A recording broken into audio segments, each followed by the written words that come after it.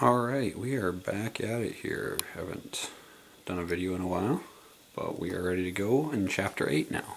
So we're doing lesson 8.1, alright, and this lesson is all about polygon angle measurements. So we're going to talk about interior angles and exterior angles and things like that. But first we need to review a few terms. So first off, I have a list here, you can kind of see all the way down, of different uh, numbers of sides and the name for that shape. So a three-sided figure, we should know by now is called a triangle. Four-sided is a quadrilateral. Five is a pentagon. Now stop and take notes as necessary on any of these that you don't know. All right, you might forget some of these. All right, six is a hexagon. Seven is a heptagon. Eight is an octagon. Nine is most commonly known as a nonagon, although there is this other enneagon. Uh, this is more of a Greek term. This is kind of a partially Greek with the gon part and partially, I think, French. But we're going to refer to as a nonagon in our class. 10 is a decagon. 11 is an undecagon. Once again, this is another one that has another name, sometimes called a hendecagon. We're going to use undecagon in our class. 12 is a dodecagon. And then once we get to 13, they do have some special names past 13, but I'm not going to worry about memorizing all those.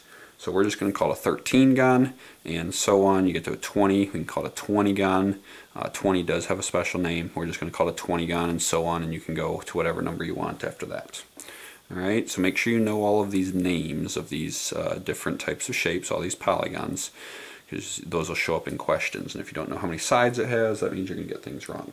Okay, so copy down what you need to. Make sure you know all of those. Some other review terms. Equiangular and equilateral. Keep in mind that equiangular means that all of the angles are congruent. All of the angles are equal in measure. Equilateral, all of the sides are congruent. All of the sides have the same distance to them. We're going to focus more on this one in this lesson today, but this is an important one. Regular. This says both equiangular and equilateral. So all of the sides are congruent and all of the angles are congruent to each other. Okay, convex. This is one we're going to focus on in this lesson as well. Convex, if you remember our definitions from before, if you were to draw the shape and extend all the sides, none of the sides would enter into the polygon. Or if you were to draw the shape and connect any two interior points with a segment, that segment would remain inside the polygon. The other version is concave. Okay, we're not going to deal a whole lot with concave in this lesson, but concave, if you were to extend the sides, then at least two of the sides would enter into the interior of the polygon. Or the other definition was that if you connected any two interior points with a segment, the segment could go outside. Just in case you kind of forget what they look like. Convex shape looks something more like this, or a concave shape looks something more like this. Using that definition, if I extend all of these sides out, then none of the sides would go in. If I pick any two points inside, connect them with a segment, that segment cannot go outside. Here, if I extend this side here, and then I do it again to this side here, those would go inside the shape. And if I picked this point, like a point up kind of in this uh, top right corner and a point in this bottom left corner, and it connected them with a segment, that segment would go outside the shape. So convex and concave, if you've forgotten what those mean. All right, a new shape, diagonal. So here I have, let's see, one, two, three, four, five. I have a hexagon, all right?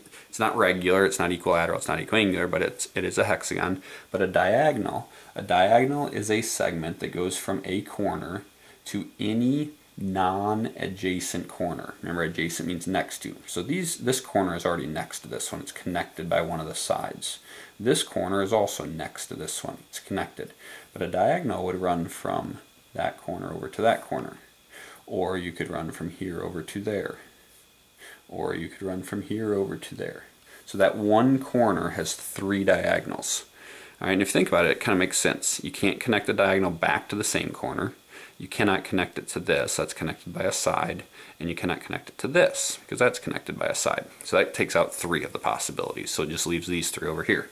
But we could do that, you know, we could connect here, and here, and here, all right, then we could go to this one. We could connect down to here. We've already connected back to there. We could connect down to here. And you could draw a lot of the diagonals in there if you wanted to. I'm just going to leave it at those three for right now. But a diagonal is a segment that connects two non-adjacent vertices. All right. Next, an exterior angle. We have talked about this before as well. Once again, we'll review this. An exterior angle, remember, is not this angle. Okay, that angle is over 180 degrees. We are not going to talk about angles over 180 degrees in geometry right now. Okay, so that's not what we're talking about. What we are talking about is that if you extend the side and you have this angle right here, it forms a linear pair with the interior angle. Remember a linear pair, two angles that when together they make a nice straight line, they share a common ray here.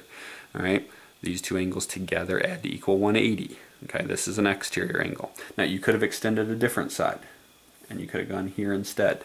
It doesn't matter those are vertical angles, so they are congruent. All we do is pick one at every corner. So if I actually drew a shape, I'll just draw a pentagon here, and I extend one spot at every corner, extend one of the lines at every corner, I get one exterior angle at every corner. Okay, so that's kind of what it looks like if I extend them all out and I put one exterior angle at every corner. All right, kind of looks like a pinwheel almost or something like that. All right, but these are exterior angles. There are five of them, one for every corner. Okay. All right, so those are just some review terms, except I think diagonal is a new one. But those are terms that you need to know as we move into this lesson. All right, so now let's take a look at our new information. So the first thing we have is Theorem 8.1. Theorem 8.1 is the sum of the interior angles of a convex polygon. Okay, we're not going to do concave. It gets a little more difficult to think about an interior angle of a concave polygon. So we're just going to do interior angles of a convex polygon. Sum means that we're going to add them all together. All right, so I have a, a picture here. We start with this one. We already know the answer to this, I hope. Okay, you should know that the sum of the interior angles of a triangle is 180 degrees. Okay, that comes from our triangle sum theorem. And now if we move down to a four-sided shape, a quadrilateral, okay, the sum of the interior angles of a quadrilateral is 360 degrees. Now you may know that, um, you may not. Um, if you think about a rectangle or a square, you should understand that it has four 90 degree angles. So that's 360, all right? But there is another way to do it as well, and that's by drawing a diagonal. So if I draw a diagonal here, I know that these three angles add up to 180 degrees. And I, if I do the same thing here and here and here, those three angles would add up to 180 degrees. And when I put these two together, it gives me the whole interior angle in this corner.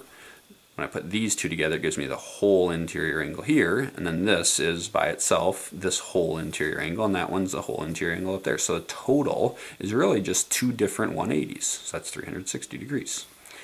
So let's move to a pentagon. We can do the same thing. So we'll draw some diagonals. One there and one there. We could have done it from any corner. Right? You just draw from one corner, you draw the diagonal. So this triangle is 180 degrees total. This triangle is 180 degrees total. This triangle is 180 degrees total. This interior angle and this one and this one all added together give you that big interior angle. This one was inside just that one triangle this one plus this one right down here these two added together gives you that whole interior angle there up at the top just that by itself is an interior angle and then over here this angle in that triangle and this angle and that triangle together give you that interior angle. So now we've taken care of all five interior angles by adding up the three triangles. So 3 times 180 is 540 degrees. All right, so now let's think about how this worked. I had three sides, but I only had one 180. So three sides, but one 180. Down here, I have four sides, but I have two 180s. Here I have five sides, but I have three 180s. All right, hopefully you're kind of noticing a pattern. The number of 180s is two less than the number of sides. One 180, three sides, so that's two less. Two 180s, four sides, so two is two less than four.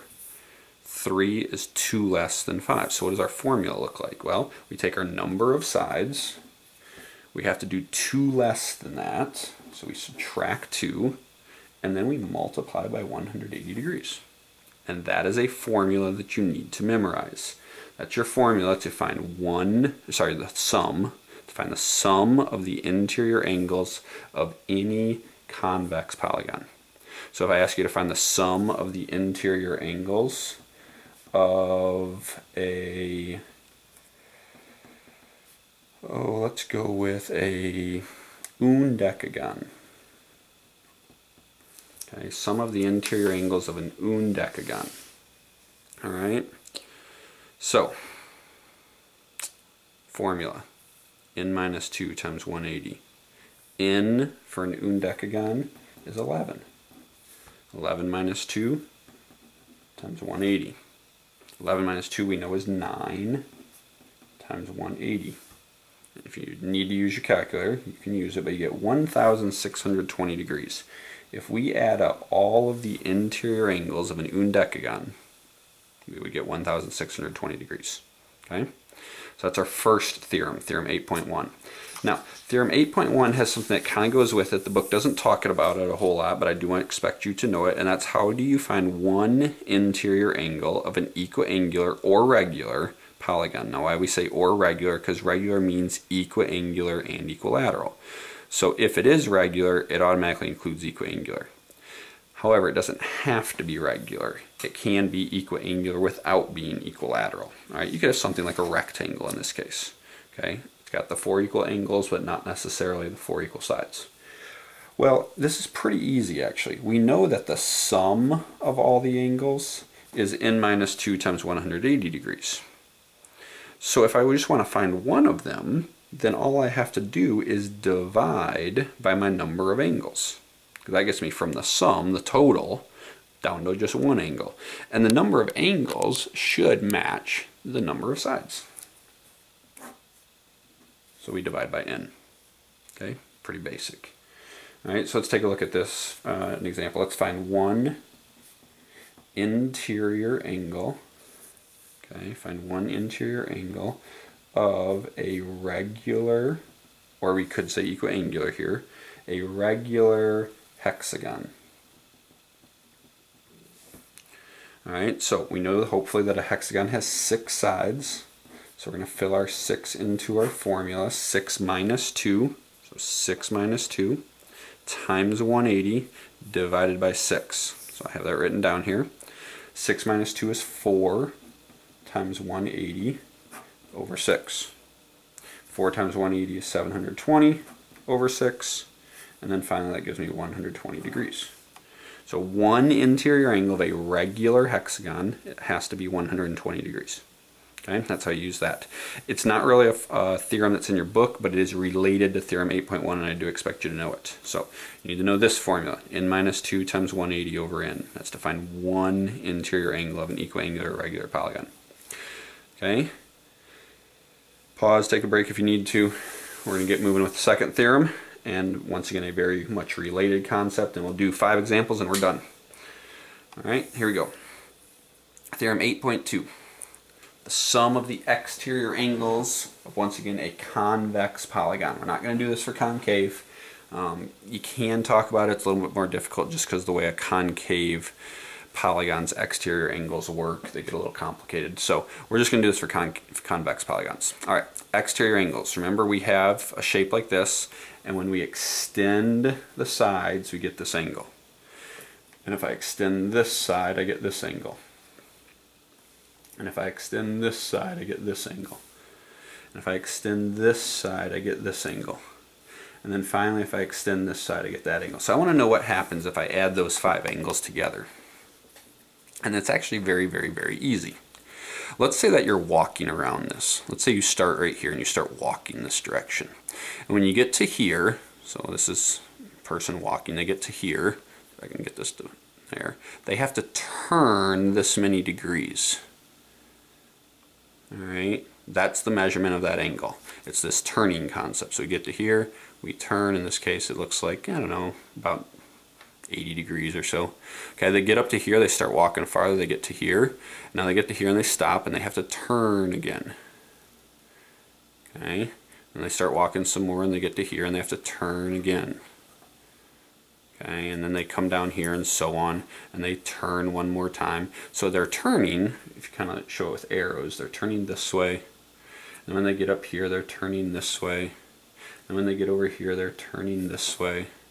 And when they get over here, they're turning this way. And then they get to the bottom and they turn this way. And finally they get back here. That was our starting point.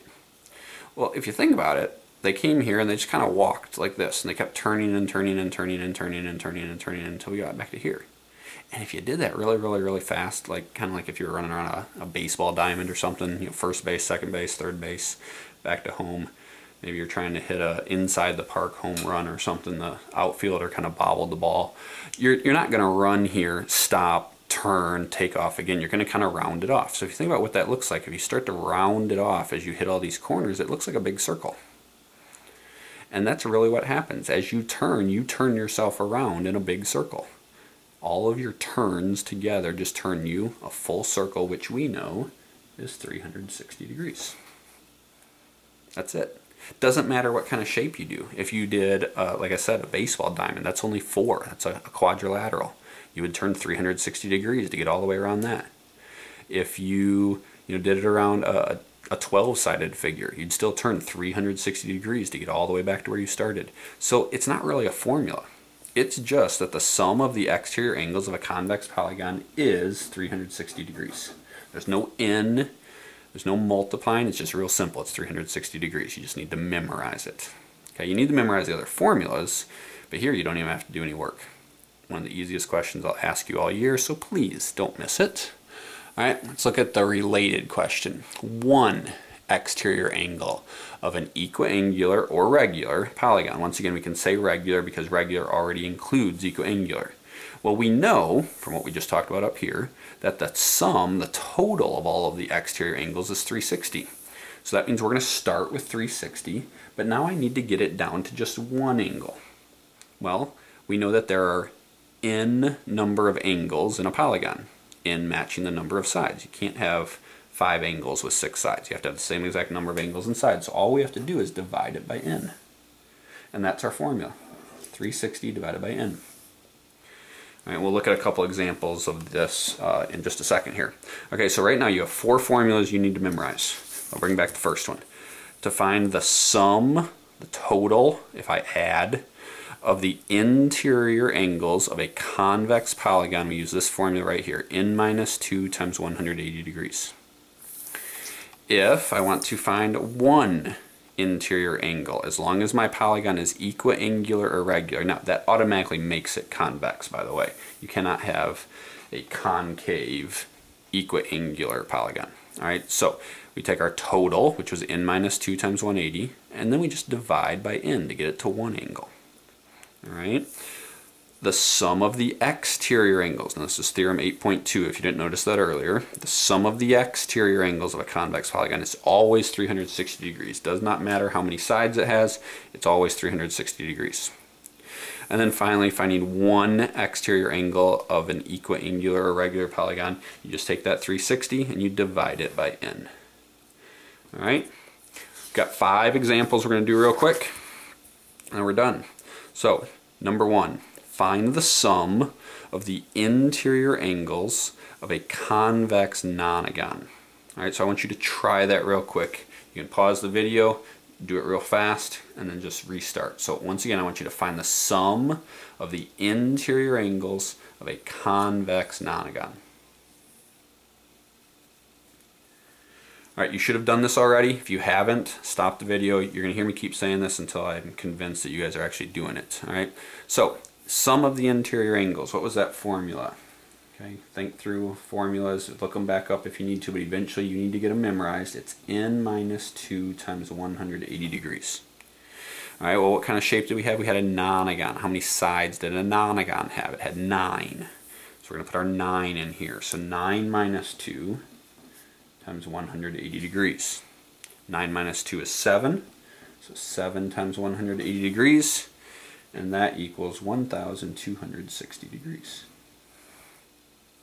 Okay, it's pretty simple. All right, let's look at another one. Number two here, find the measure of one interior angle of a regular dodecagon. Okay, one interior angle of a regular dodecagon. So pause the video, try this one real quick.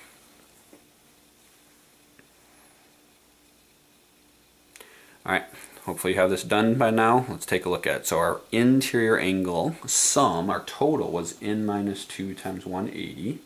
But we know we're going to just find 1, so we have to divide by n to finish it off. Okay, what was our shape? Our shape was a dodecagon.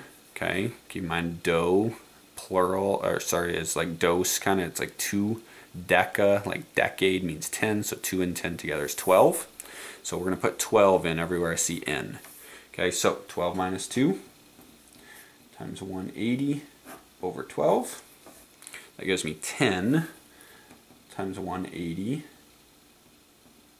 Get my degree symbol in there, over 12, which is 1800 degrees over 12. I'm going to divide that and I'm going to get 150 degrees. If you ever get an answer over 180 for one angle, you did it wrong. Okay, all, all the angles added up can equal all kinds of different numbers, okay? But remember, in geometry, we're just gonna focus on angles that are under 180 degrees. We'll get into angles that are over 180 degrees in some other classes, all right? But for now, we're just focused on angles that are under 180. So when it says one interior angle, we gotta make sure that this answer is under 180 degrees. Okay, let's go to question three. Find the sum, okay, we're gonna add them all up, of the exterior angles. Excuse me. Oh, man, sorry about that. Find the sum of the exterior angles of a convex hexagon. Okay, sum of the exterior angles of a convex hexagon. Alright, so once again, pause the video, do that one real quick. Yeah, that one you should have had in no time at all. All it is is 360 degrees. You don't have to do any work for that one. If you forget why, go back and rewind the video about, I don't know, five ten minutes ago. All right, number four. Find the measure of one exterior angle of a regular heptagon. Find the measure of one exterior angle of a regular heptagon. So once again, pause the video real quick, try that one.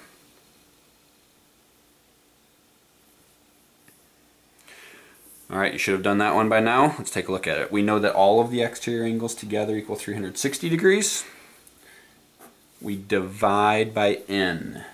All right, so 360 degrees divided by, all right, it was a heptagon, heptagon. You gotta remember that that has seven sides.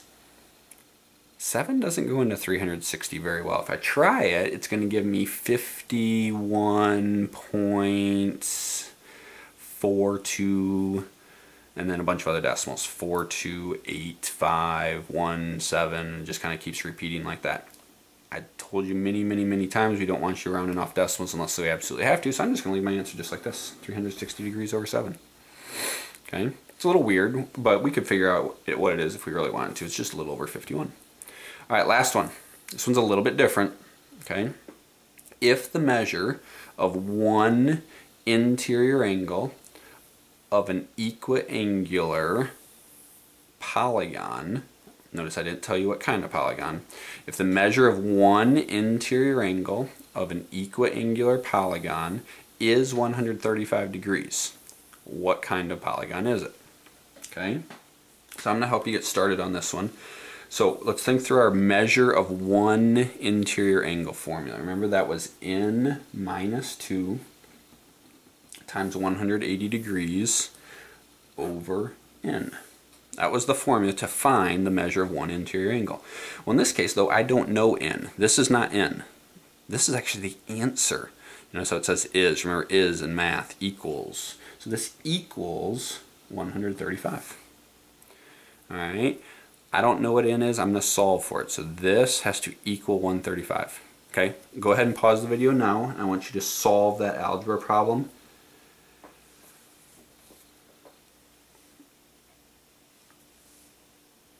Alright, you should have done this algebra problem. However, if you're stuck, give you a quick hint, cross multiply, cross multiply, cross multiply, cross multiply. What do you mean, Mr. Oates? Put it over 1, do your cross multiplying, use your distributive property. Alright, so some of you might need to pause the video now and retry that one because you forgot how to solve something like that. So if necessary, pause the video one more time, do your cross multiplying, use your distributive property, and solve this. All right, by now everybody should have this done. So let's look at what happens when we cross multiply here. We cross multiply here, we get 135n. Okay, 135n equals. When we multiply 1 times the 180, it really doesn't do anything. I'm going to do the distributing in my next step. So 180 times that n minus 2. Alright, so now I'm going to distribute 180 times n minus 180 times 2 and I still have my 135n over here. Okay, let's subtract 180n from both sides. Gives me negative 45n equals, I have a negative sign right here, don't lose it, so negative 360. I'm going to divide both sides by negative 45. The negatives cancel, the 45s cancel, the negatives over here cancel, and that gives me n equals 8. Now, I've solved the algebra problem, but I haven't answered the question. The question was, what kind of polygon is it? n, remember, refers to the number of sides. So what kind of polygon has eight sides? Hopefully you remember. I can't spell. Hopefully you remember it's called an octagon. And there's our answer. Alright, so that's it. That's lesson 8.1. Quick review, real fast. Um, make sure you know all your polygon angle names. Make sure you know the terms equiangular, equilateral, regular, convex, concave, diagonal, and exterior angle. And then our four formulas, I'm going to show them to you one more time. So for the sum of the interior angles, all of the interior angles added together, was this formula right here, n minus 2 times 180 degrees. If I wanted to find one interior angle of a regular or equiangular polygon, then I take that same formula, I just divide it by n. Over here, the sum of the exterior angles, remember sum means adding them all together. The exterior angles of a convex polygon is 360 degrees. And then finally, one exterior angle of an equiangular or regular polygon is 360 degrees divided by n. Get those formulas memorized. Make sure you're taking good notes because you will have a video quiz on this then next time we have class.